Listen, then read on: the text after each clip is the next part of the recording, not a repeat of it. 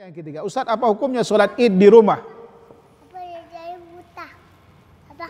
Dari buta. Karena saya masih bingung apakah harus sholat di rumah atau tidak usah. Kalaupun sholat apakah sama seperti di lapangan dengan takbir yang banyak dan khutbah? Taib. Pertama, kita harus tahu sejarah sholat id ini. Rasulullah Shallallahu Alaihi Wasallam itu selalu melakukan di tanah lapang dan tidak pernah dilakukan di dalam masjid walau sekali. Ini menurut penelitian Imam Ibnul Jauzi Ibnul Qayyim Al-Jauziyah. Ya kan? Rahimahullahu taala. Itu yang pertama. Kemudian yang kedua, dan beliau melakukannya selalu bersama kaum muslimin.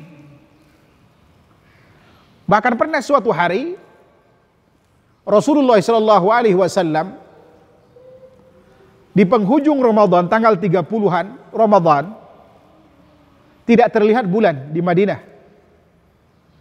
Lalu beliau berpuasa bersama sahabat. Siang harinya tengah hari datang kabilah dagang dari luar Madinah ngasih tahu Rasulullah kalau mereka melihat bulan. Akhirnya Rasulullah batalkan puasanya dan memerintahkan sahabat untuk membatalkan puasa. Dan beliau berkata pada saat itu, besok kita sholat id. Kasih tahu yang lain. Padahal sedianya sholat idnya itu hari itu. Kenapa beliau tidak lakukan hari itu?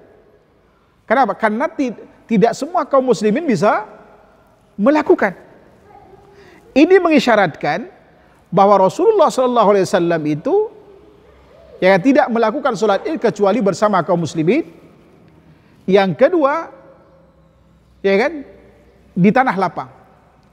Bahkan kalau dari umat ya misalkan, beliau menuturkan bahwa Rasulullah memerintahkan para sahabat itu untuk membawa sanak pemilihnya. Hatta wanita-wanita yang haid yang nipas pun disuruh keluar supaya menyaksikan apa? Syiar yang satu ini. Bayangkan kalau dilakukan di rumah. Ya kan? Terlepas dari polemik masalah ini. Kemudian yang berikutnya, ya kan? Yang berikutnya dilihat dari status hukum. Yang betul sholat id ini adalah sunnah muakkadah kan begitu. Artinya kalau dilakukan awal tidak dilakukan ya tidak masalah. Walaupun ada sebagian mengatakan fardu kifayah. Kalau ada kasus sahabat mulia Anas melakukannya secara privat gitu kan, itu ijtihad beliau, ijtihad beliau. Tetapi yang jelas Rasulullah SAW tidak pernah melakukan kecuali bersama kaum muslimin. Wallahu a'lam saya, saya lebih cenderung kepada apa yang dilakukan Rasulullah SAW yaitu tidak melakukannya kecuali bersama kaum muslimin. Nah, karena terjadi udur di sini, adanya udur, tidak bisa melakukan barangkali paling tidak karena ada larangan. Kalau protokol kesehatan itu mengharuskan kita tidak berkumpul dan seterusnya, maka pilihannya bukan melakukan sendiri-sendiri. Ya kan? Tapi melakukannya apa? Apa? Tidak melakukan pilihannya tidak melakukan. Tuh hukumnya sunnah kan begitu? Bagi yang melakukannya ada dasarnya. Dari sahabat mulia Anas bin Malik bahkan Imam Al-Muzani juga dalam Mukhtasar Al-Um itu beliau membolehkan itu. Wallahu taala alam.